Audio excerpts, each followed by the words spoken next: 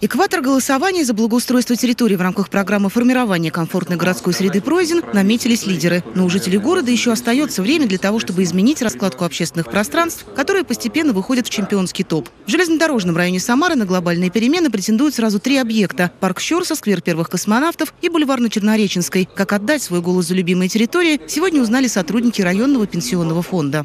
Всего у нас в городе 19 пространств, которые выделены в топ. Но нам очень хотелось бы, чтобы какое-то из наших пространств тоже было в числе победителей. В 2022 году было реализовано именно благоустройство этой территории. Одна из самых крупных общественных территорий в железнодорожном районе – парк имени Щурса. В случае победы здесь обустроят зону отдыха и развлечений, хоккейную, спортивную площадки и наполнят территорию аттракционами. Кроме того, по проекту планируется реконструкция детской железной дороги и обновление сцены для проведения праздников. Хотим приукрасить его, внести вклад э, в то, чтобы этот парк процветал в дальнейшем. Коллектив э, полагаю, что поддержит э, территорию парка имени Щерса.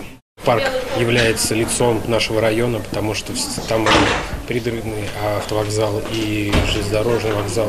Все рядом, и люди, которые приезжают в наш город, они сразу попадают в парк Щерс. Только в железнодорожном районе Самары в рейтинговом голосовании по отбору общественных территорий для реконструкции приняли участие свыше 16 тысяч человек. Благоустройство города и создание комфортных условий для жизни – одно из важнейших направлений стратегии лидерства региона, сформированной по инициативе губернатора Дмитрия Азарова. Отдать свой голос за благоустройство выбранного объекта можно через госуслуги, сайт 63.городсреда.ру и виджет «Мой выбор. Мое будущее» на сайте администрации Самары и внутригородских районов. От активности жителей зависит, как будет выглядеть парк, сквер, бульвар или аллея. Голосование продлится до 30 мая.